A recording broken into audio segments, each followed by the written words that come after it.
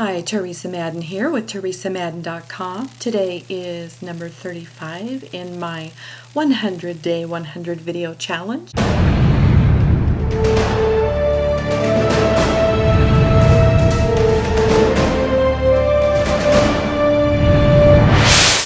Today I'm going to show you, it's going to be a little tricky, how to insert a PNG frame into a video. So what I'm going to do is, first off, I want to import my uh, my video that I made, the one that I'm specifically want to use today is this one. So I'm importing it because it's a movie. I made it in QuickTime. And I have a PNG uh, that I want to as well. Um, oh, frame a picture. Let's see. So let's see how that will work. There, dragged it over. So cancel that. What I'm going to do is drag my video in here and we will start editing it. So we'll go by just playing and so we'll scoosh over there. So we get a Oops.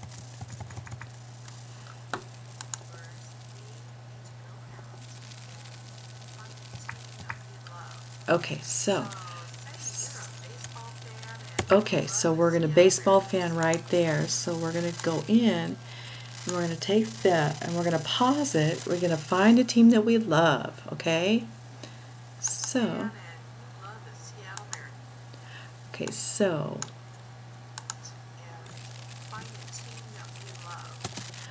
So we're going to go to about 30.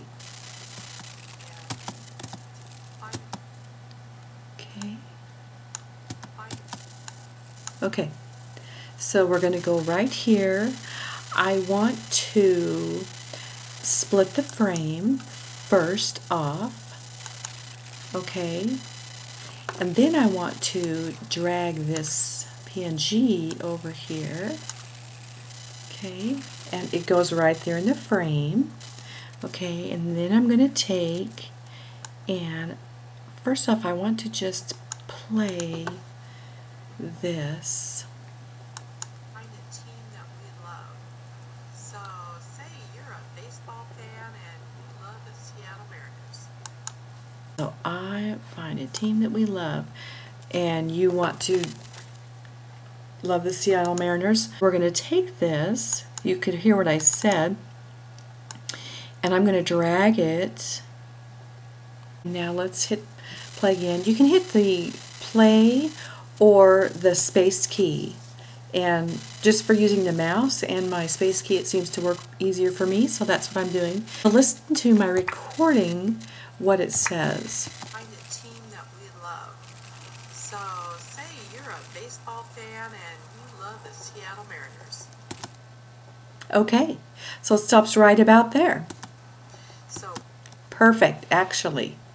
Because that's on my second row there, is superimposed over the video that was actually playing. And I can take this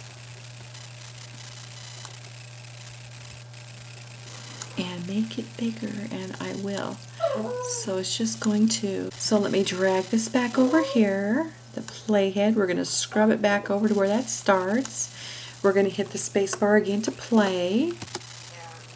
Find a team that we love. So say you're a baseball fan and you love the Seattle Mariners. So what we do It showed the baseball field, and so I can insert that, and it took it right over the top of my my my face, my frame. So if we have a photo that we like, something that plays into what we have, or words, if there's something we want to put um, on the page, I just wanted to show you this, and then this just goes on through the video and, and completes the video. But you can do this as many times as you want and superimpose it over the top. I hope you found this very helpful. I love new, learning new things about these tools and this Camtasia is fun. I would encourage you to upgrade to a video creator, a screencast creator that um, you like. There's many out there that you can try for free and you get a test period of you know a week to 30 days. It just depends. And invest in one that works for you. They're all very similar but some just work better for others and this happens to be a mac program and i can't remember the comparable one for the pc if you would like to have more tips and tools and just encouragement please trot on over to theresamadden.com don't forget to subscribe to my YouTube channel, and that is Theresa Madden, D O T C O M, theresamadden.com as well. I will see you tomorrow for video number 36. Until then, dare to dream.